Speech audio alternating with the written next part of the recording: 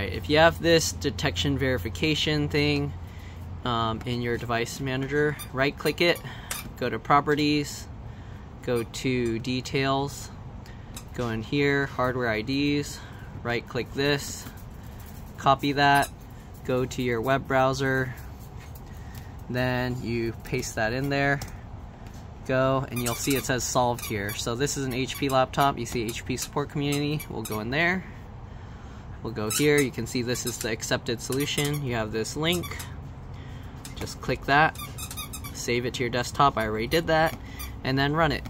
And once you install it, you can see it already fixed itself. Okay, so now it's no longer there. Um, and actually, I think it fixed itself with the Windows updates, but if it doesn't fix itself with the Windows updates, then you'll need to install this, okay? So that's pretty much it. Hope that helped. Thanks for watching, and I'll see you on the next one. Bye.